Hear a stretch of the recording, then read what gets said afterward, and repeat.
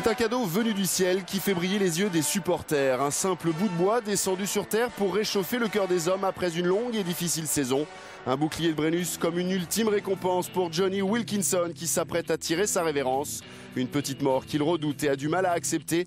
Alors Johnny, avant de refermer le livre d'une carrière magnifique, a un dernier rêve à partager avec ses hommes. Bakis Bota, Matt Guito, Carleman et tous les autres ont compris le message. Les Galactiques désormais sont prêts à suivre leur héros.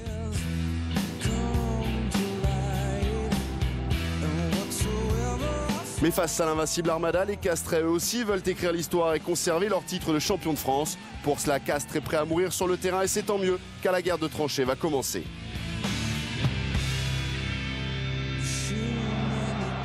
Et en début de match, ce sont les Toulonnais qui portent les premiers coups, comme pour évacuer la frustration de deux finales de championnat perdu, comme pour montrer aux Castrés que personne ne privera Wilkinson du sortie magnifique. Wilco qui rapidement entame son récital.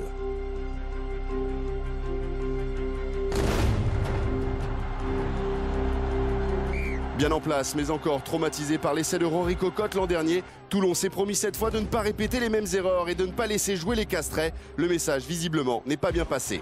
Parce que les Castrets sont capables de saisir les rares munitions qui peuvent s'offrir à eux en ce début de match, jusqu'à Evans, Max Evans, l'Écossais qui est projeté, qui accélère, il est passé, Max Evans, il élimine les trois quarts de la défense de Toulon avec un coup de pied à suivre, c'est bien joué, d'autant qu'il y aura un rebond peut-être favorable à Cocotte, Armitage, finalement Max Evans lui-même cette finale alors qu'il y a déjà une partie de manivelle sous les poteaux dans leur but.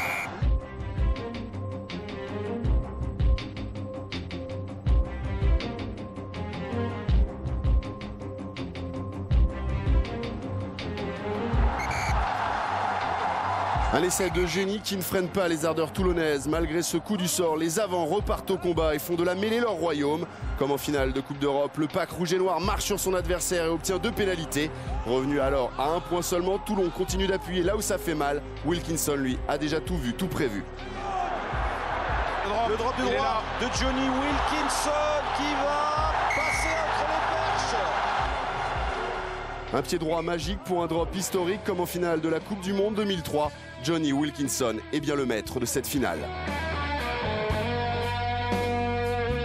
A l'inverse, Rory Cocotte lui vit un cauchemar, une glissade pour une pénalité ratée juste avant la mi-temps. Le héros de la dernière finale est à côté de ses crampons. À la pause, c'est Toulon qui mène 12-10.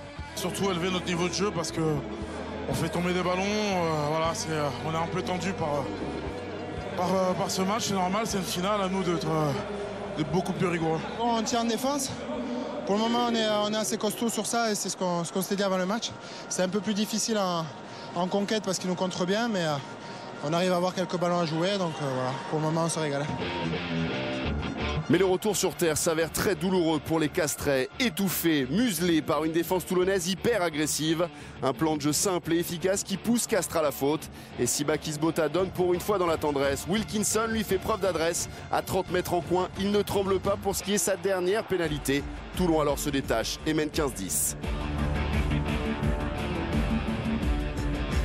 Regard désabusé, Capo Ortega alors a tout compris. Sans une mêlée souveraine et sans la réussite de son buteur, Castres ne peut espérer conserver son titre.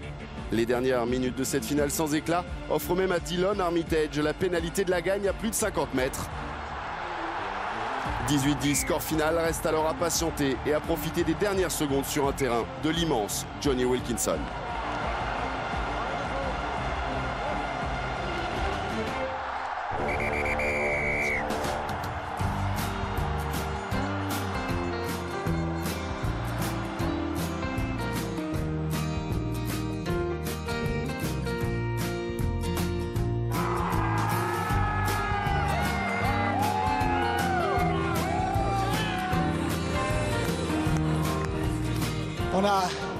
On a tout donné ensemble pendant 5 ans et plus. Pour ce moment-là, on a ressenti des, mauvais moments et des bons. Mais ce qui est le plus important, on est resté ensemble. Et on est une équipe et on va rester une équipe. Champion de France au soir de son dernier match, Wilkinson offre à Toulon un doublé historique top 14 et Coupe d'Europe. Une sortie par la grande porte tellement méritée pour celui qui désormais a tout gagné. Des étoiles plein les yeux, des images.